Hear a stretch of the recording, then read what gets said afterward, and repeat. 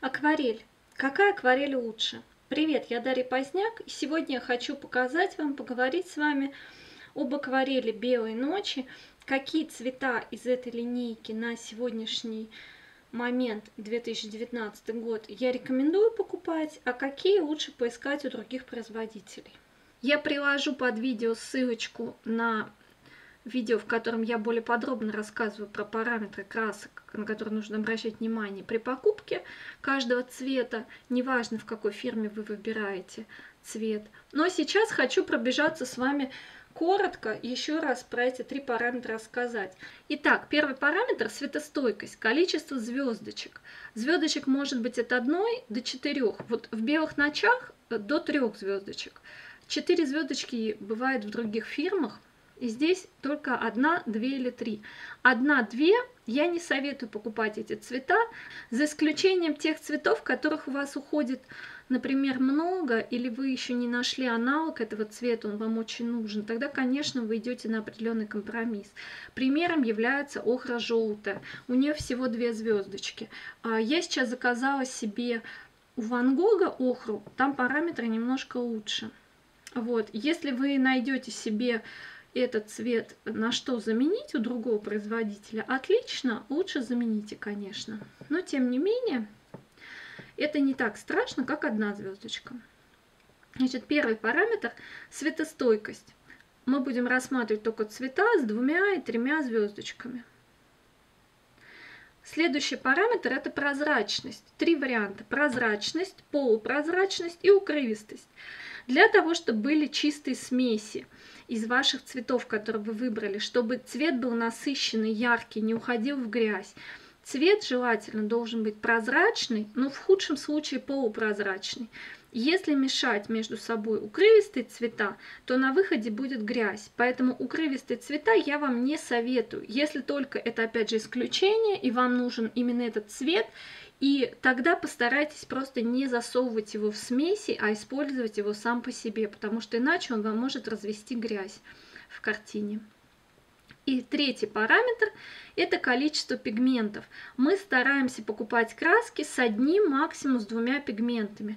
Опять же, если вам для ваших целей нужно какой-то определенный цвет, который имеет три пигмента, как, например, у индиго, а но вам нужен именно этот цвет, старайтесь не пихать его в смеси. Используйте его сам по себе для каких-то набросков, там, для заливки фона одним цветом. Используйте его для гризали, например. Вот. Но если вам нужен этот цвет и вы хотите его использовать именно в живописи, лучше поищите его у других производителей с лучшими параметрами. Цвета, которые я не рекомендую покупать. Белила, желтая, кадмий лимонный, кадмий желтый средний, неаполитанская желтая, золотистая, кадмий оранжевый, лак оранжевый, железноокисная светло-красная, киноварь имитация, кадмий красный светлый, алая, карминовая, бордо, розовая. По поводу розовых и лаков, всех лаков – и розовый. И здесь проблема именно в звездочках, в светостойкости. И если вам нужны эти цвета, просто найдите их у других производителей а, с лучшими параметрами, либо идите на компромисс, понимая, что именно этот цвет вам нужен, он есть вот только такой, тогда старайтесь эти цвета не запихивать э, в смеси, ну и вообще так пользоваться ими именно по необходимости. То есть для смесей используйте хорошие цвета, а для э, именно когда вам этот цвет нужен, тогда да, вы понимаете, да, я иду на это из компромисса, потому что мне нужен именно этот цвет, а у этих всех цветов, у них, например, у всех плохая светостойкость. Тогда э, все оправдано, и я вас призываю именно к тому, чтобы вы думали, э, какие краски вы покупаете, как вы их используете. Итак, дальше, повторюсь, бордо, розовое, фиолетово-розовое, фиолетовая, лак синий, травяная зеленая, оливковая. Оливковую, кстати, я заказала себе у Ван Гога, у нее лучше параметры. Окись хрома, зеленая, земля зеленая, умбра натуральная, сепия, нейтральный черная, кость жженая, имитация. Теперь я вам прочитаю те цвета, которые точно можно использовать, которые проверены лично мной, не только мной, моими ученицами, и они хороши в смесях, и они хороши как бы во всем, если, конечно, вам нужны эти цвета. Итак, во-первых, хочу сказать сразу про три цвета, из которых мы красим цветовой круг и которые используем как базовые. Эти цвета никогда не подводят, они прекрасно мешаются. Из них действительно получается желтый с красным, получается действительно красивый чистый оранжевый. Из желтый с синим получается нормальный зеленый. И из э, синий и красный получается отличный фиолетовый. Это лимонная, рубиновая и голубая. Сейчас у белых ночей также появился цвет, называется синяя. Он очень похож на голубую. А, и, в принципе, если вы приходите за голубым цветом, а его нет, можно взять синий. Он и по параметрам очень похож, и по цвету, так что он тоже, в принципе, может относиться к базовым. Итак, начну перечислять цвета, которые точно хорошие.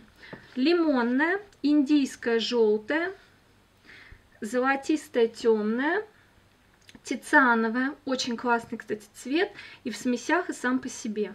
Охра красная, шахназарская красная, венецианская красная, рубиновая, красный хинокридон, крапла красный светлый, розовый хинокридон, фиолетово-розовый хинокридон, сиреневый хинокридон, фиолетовый хинокридон.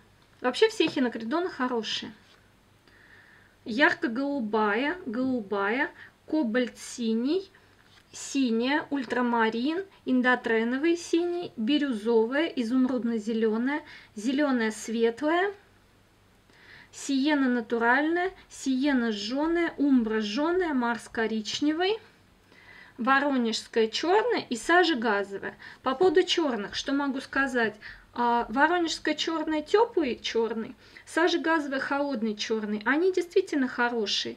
Я себе вместо сажи газовой купила у Винзор Ньютон ламп Black и очень довольна. Он классный сам по себе, он классный в смеси с э, краплаком белых ночей. Они дают потрясающий бордовый, густой, плотный, очень хороший цвет вместе. Но также сажа газовая, в принципе, на него похожа.